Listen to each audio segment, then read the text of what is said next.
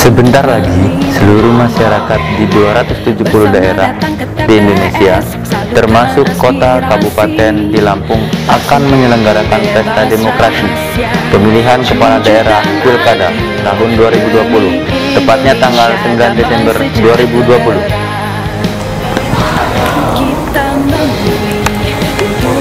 Pilkada adalah momentum masyarakat untuk berperan menentukan masa depan di daerahnya dengan memilih pemimpin yang berkualitas dan berintegritas. Jika angka golput tinggi, maka suksesi demokrasi dari rakyat, oleh rakyat, untuk rakyat akan tergerus. Partisipasi masyarakat untuk menggunakan hak pilihnya merupakan salah satu indikator kesuksesan pilkada agar kepala daerah yang terpilih dan pemerintah daerah yang terbentuk nanti memiliki legitimasi yang kuat. Lalu distribusi program prokrakyatan bisa optimal.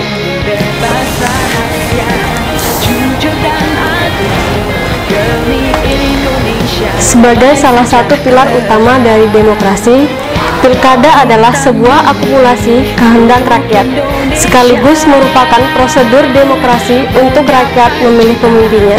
Karena itu, dibutuhkan partisipasi yang tinggi dalam pilkada.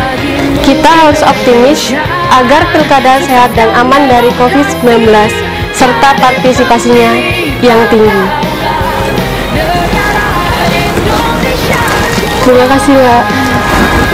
Semoga dari Pilkada serentak tahun 2020 di tengah pandemi ini, kualitas demokrasi tetap terjaga. Masyarakat dilindungi kesehatannya agar nyaman datang ke TPS. Ingat, 9 Desember 2020 datang ke TPS. Jangan golput, pilih dengan hati nurani.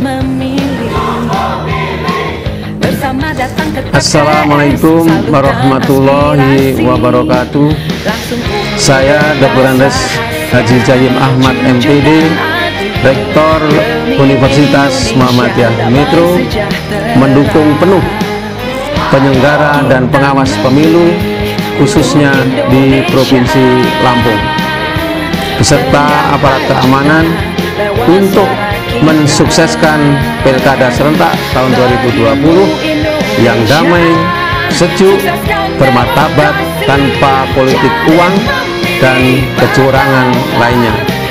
Serta yang paling penting ialah Pilkada sehat dan aman dari COVID-19. Wassalamualaikum warahmatullahi wabarakatuh.